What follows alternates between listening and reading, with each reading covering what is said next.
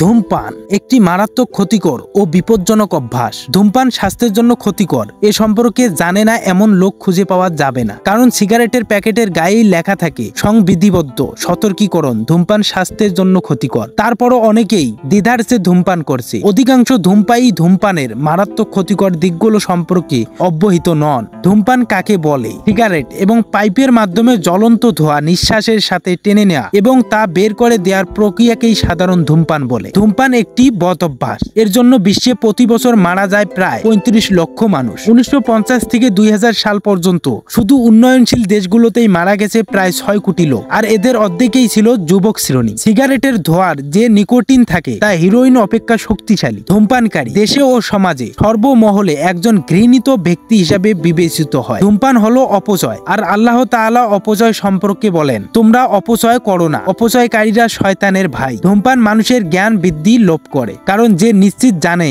যে ধূমপান স্বাস্থ্যের জন্য ক্ষতিকর, তারপরেও সে তা পান করে। ধূমপায়ী তার ছেলে সন্তান এবং উত্তরসূরিদের জন্য একজন আদর্শহীন ব্যক্তিতে পরিণত হয়। ধূমপানের অভ্যাস একজন মানুষকে সিয়াম পালন হতে বিরত রাখে, কারণ সিয়াম রাখলে সে ধূমপান করতে পারে না। ধূমপান মানুষের অপমৃত্যু ঘটায়। আন্তর্জাতিক স্বাস্থ্য সংস্থার প্রতিবেদনে প্রকাশিত হয়েছে যে, সমগ্র পৃথিবীতে ধূমপানের কারণে যত বেশি অপমৃত্যুর ঘটনা ঘটে, অন্য কোনো রোগ ব্যাধির কারণে তত ঘটে না।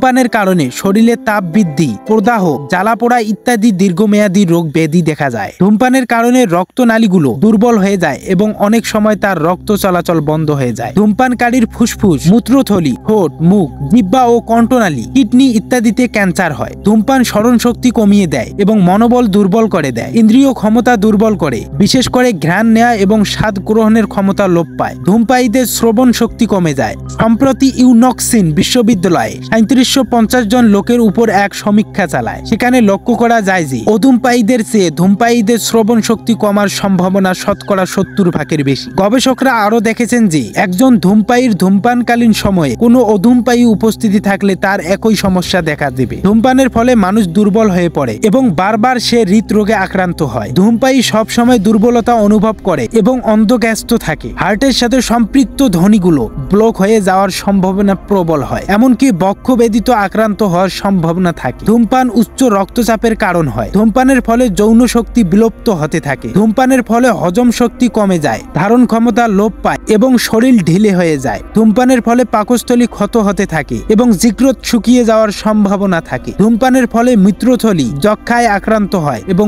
প্রসাব বিষাক্ত হয়। ধূমপান নির্বল পরিবেশকে দূষিত করে। ধূমপান নির্মল পরিবেশকে দূষিত করে। এর ফলে স্ত্রী পরিজন সহযাত্রী বন্ধু বান্ধব ও আশেপাশের লোকজনের কষ্ট হতে থাকে। বাসে, ট্রেনে ও অন্যান্য যানবাহনে প্রকাশ্যে ধূমপান করার ফলে অনেকে সহযাত্রী নীরবে কষ্ট সহ্য করে। মনে মনে ধূমপায়ীকে অভিশাপ দেন। আবার কেউ প্রতিবাদ করে বিব্রতকর অবস্থার মধ্যে পড়ে যান। অনেকে প্রতিবাদ করতে গিয়ে অপমানিত হন। কখনো ধূমপানকারীরা ধোয়ালো কণ্ঠে বলে ওঠে, একটা গাড়ি বা ট্রেন কিনে তাতে আলাদাভাবে চলাফেরা করলেই হয়। কেউ কেউ আবার এও বলে যে, মনে হয় গাড়িটা উনি নিজেই কিনে নিয়েছেন বা গাড়িটা মনে হয় তার বাবার। জেনে রাখা উচিত, চিকিৎসা বিজ্ঞানের মতে ধূমপানকারীর প্রতিবেশী শারীরিকভাবে ধূমপায়ীর মতোই ক্ষতিগ্রস্ত হয়। হাদিসে প্রতিবেশীকারীকে কষ্টদানকারী ব্যক্তি জাহান নামে যাবে বলে হুঁশিয়ারি উচ্চারণ করা হয়েছে। আবু হুরাইয়া রাদিয়াল্লাহু বলেন, রাসুল সাল্লাহ সাল্লাম বলেছেন, যে ব্যক্তি আল্লাহ ও আকেরাতে বিশ্বাস রাখে, সে যেন তার প্রতিবেশীকে কষ্ট না দেয়। উল্লিখিত মন্দ দিকগুলো প্রমাণ করে যে ধূমপান অতি ক্ষতিকর।